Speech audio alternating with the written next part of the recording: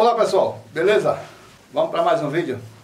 No vídeo de hoje eu vou falar um pouco para vocês aí de como colocar essa caixinha aqui na parede. Essa caixa aqui é a caixa de interruptor, certo?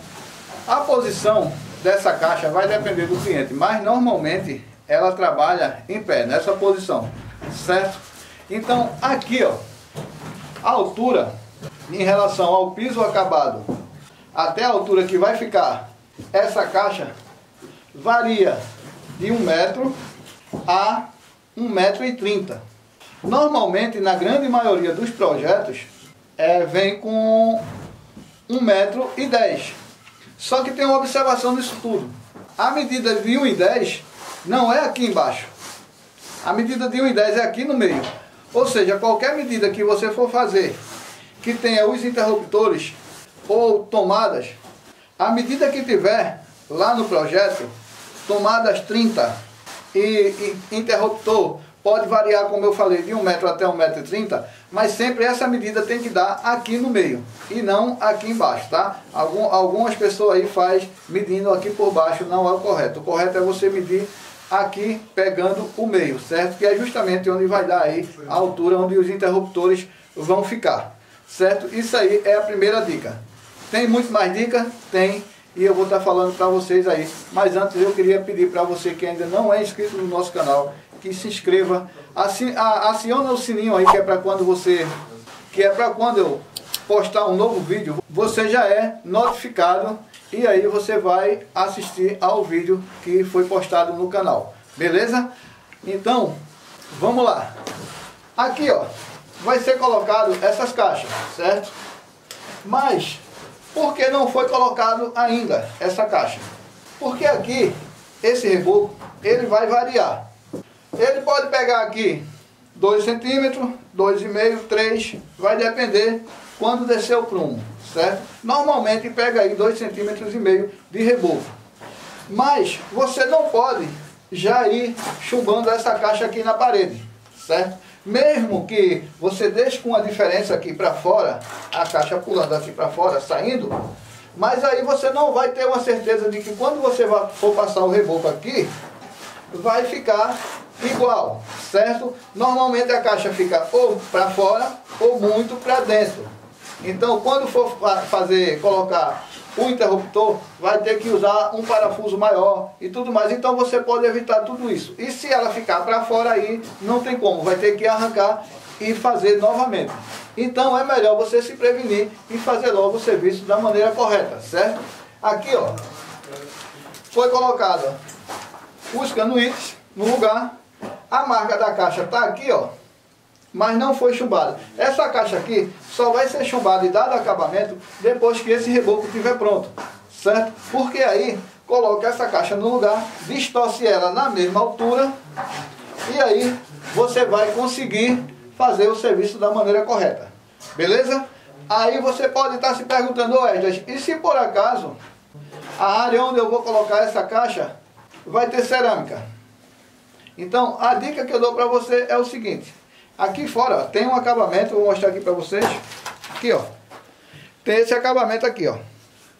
Então, daqui para cá fica na massa. E esse acabamento aqui, essa partezinha aqui de cima, é a que fica para fora. Que é para quando você colocar a, a peça de cerâmica, ela ficar aqui igual.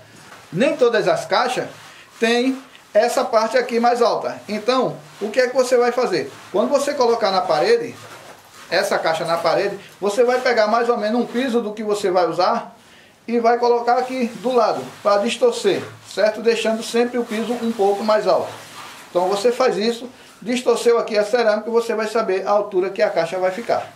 Então agora eu vou mostrar para você na prática como é que essa caixa é chumbada e aí eu vou estar tá fazendo o passo a passo para você, beleza?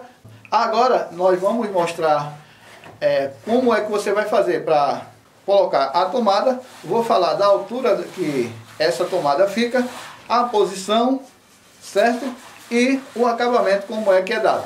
Lembrando que essas mangueiras aqui, ó, toda ela, quando você estiver colocando no lugar, terminou, você já fecha aqui, ó.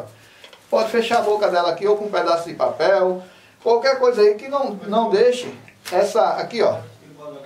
não deixe essa mangueira aberta para quando você estiver fazendo algum serviço na obra não cair massa dentro, certo? Então, aqui ó, você sempre deixa assim ó, fechada, porque aí depois que fizer o serviço, você vai cortar aqui sempre deixando ela maior do que o tamanho que vai precisar, porque na hora de repente você pode precisar mexer com a caixa mais para baixo um pouco ou mais para o lado, a mangueira vai dar essa condição para você, certo? Então vamos lá para a tomada.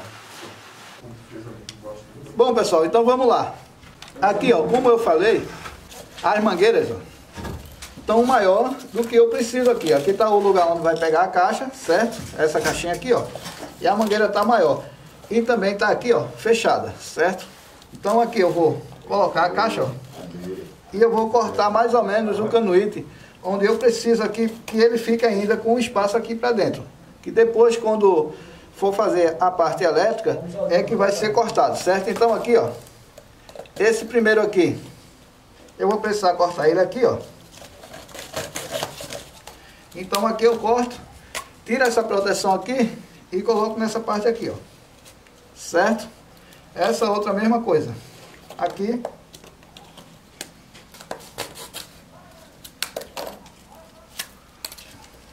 E eu coloco aqui, ó. A posição da, da tomada aqui vai ser deitada, certo?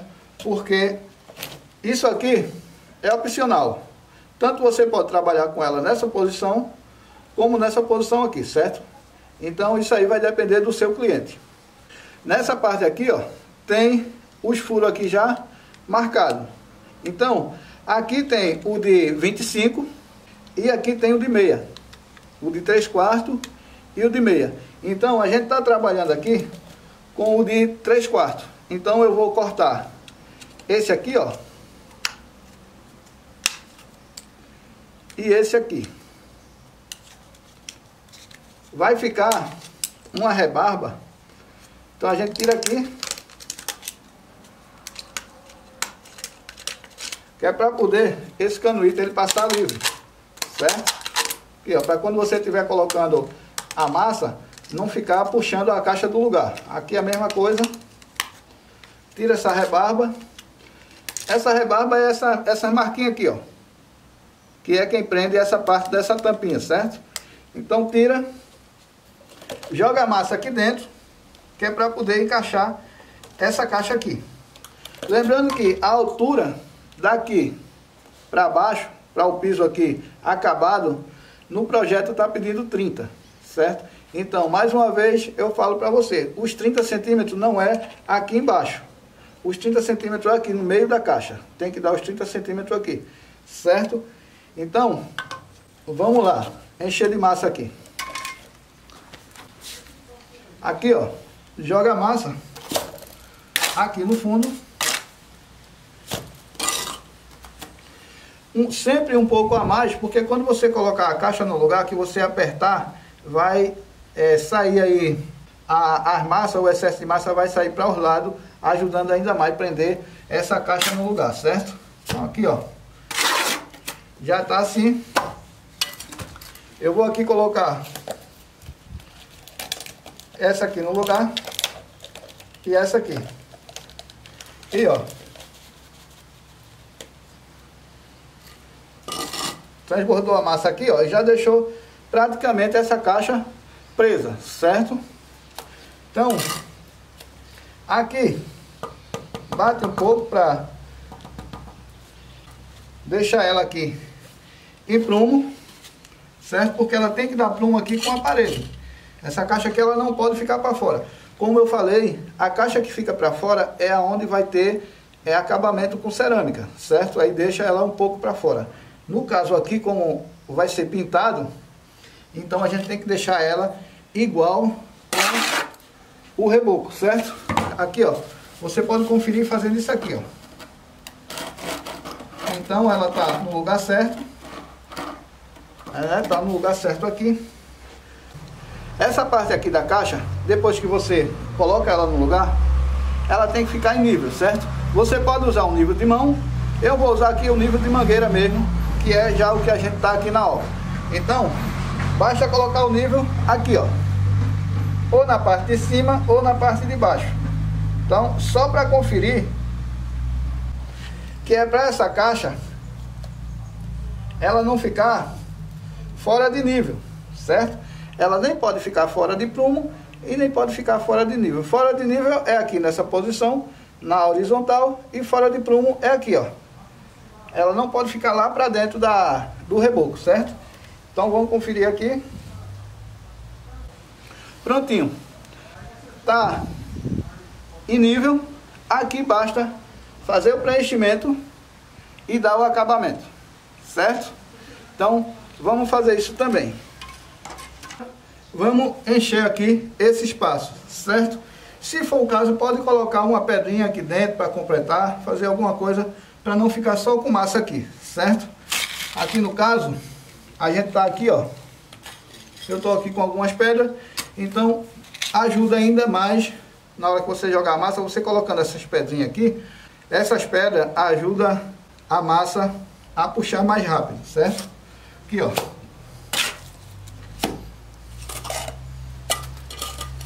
Coloca a massa embaixo. Coloca a pedra aqui, ó.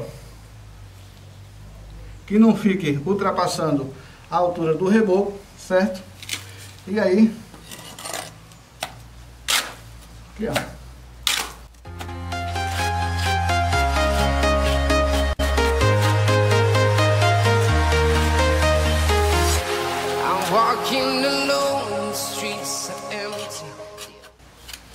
Lembrando, pessoal, se esses vídeos que eu faço aí para vocês tá ajudando a você aí no dia a dia, você que está tá trabalhando, começando com obra, então é muito importante que vocês dê o like aí e clique nesse botão aí, inscreva-se que tem aqui embaixo, porque aí quando você se inscreve você recebe a notificação é, que o nosso vídeo foi postado, beleza? Então sempre quando a gente posta um vídeo, você está sendo notificado. O botão de inscreva-se é esse aqui, ó. Aqui, ó, tá vendo? Esse botão aí tá aqui embaixo. Então é só você clicar em cima dele, acionar o sininho, que aí você já, já é um inscrito do nosso canal. Beleza?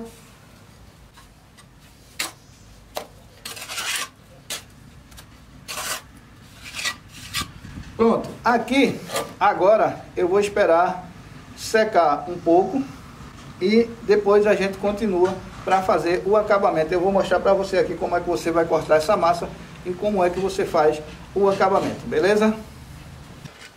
Bom, agora você vai fazer o acabamento, certo? Aqui é simples, é só pegar a régua aqui, ó, e tirar esse excesso de massa que ficou aqui em cima, certo? Aqui, ó. Walking alone, the streets are empty. The only thing I can see is my own silhouette. Aqui eu tirei o excesso de massa, certo? E aqui, ó.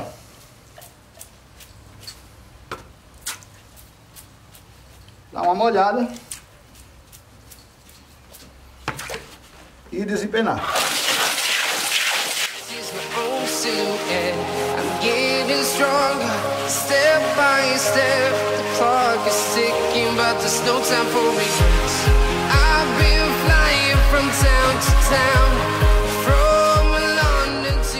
Lembrando que essa parte aqui não pode ficar mais alto, certo? Se tiver mais alto, para fazer um acabamento perfeito, você vem dar uma olhada na lateral, nessa parte aqui da lateral, ó. Nunca joga muita água aqui em cima, senão essa massa pode é, ficar pesada e rachar aqui. E.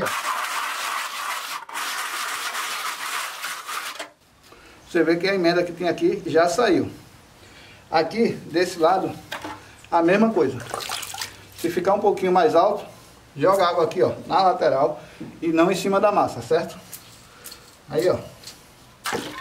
E aí pega a massa daqui pra cá, a desempenadeira. Aqui, ó. Porque se você fizer o contrário, se você fizer daqui pra cá, você vai pegar a massa mole que está desse lado e vai puxar novamente aqui para cima dessa parede que já está seca. Então você nunca vai conseguir dar um acabamento correto, certo? Então sempre jogando daqui para lá, certo? Então aqui, ó. Porque quando você faz isso, a tendência aqui é que essa massa aqui iguale com essa. Se você faz o contrário, você vai estar tá puxando, certo? A massa que está mole aqui, para cima daqui já está seca. Então, a parte de baixo, a mesma coisa, ó.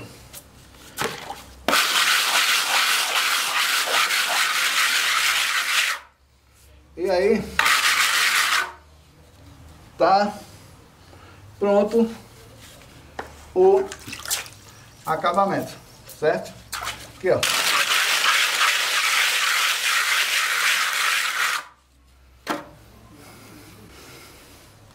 Para dar o acabamento final, para ficar tudo liso, na mesmo, o mesmo reboco, a mesma altura, aí você passa uma esponja. Que essa esponja aqui é justamente para isso, é para deixar tudo na mesma altura, certo? Então você passa sempre assim, ó. Só aqui pelos cantinhos.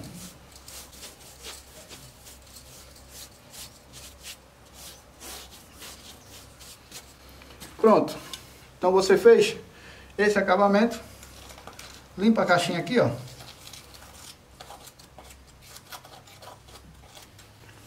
E como eu falei, essa proteção aqui para não sujar o cano, para não entrar massa. Apesar dele estar tá ao contrário, mas pode cair massa dentro, certo? Então, deixa para tirar isso aqui só quando for fazer a instalação elétrica. Aí você puxa, corta o excesso de tubo que está passando aqui e faz a sua fiação. Beleza? É isso aí. Espero que tenha gostado. Como sempre, o nosso vídeo é um pouco longo porque eu gosto de dar para vocês todo passo a passo, né? Pessoal que quer muito rápido aí, às vezes a gente mostra uma coisa e termina não mostrando outra. Então a ideia do nosso canal é essa, é mostrar o passo a passo para vocês, beleza? Então eu tenho certeza que quem quer aprender e quer saber como é que faz o serviço da maneira correta, sempre vai estar assistindo o nosso vídeo, beleza? Então, é isso aí. Um forte abraço. Fica na paz.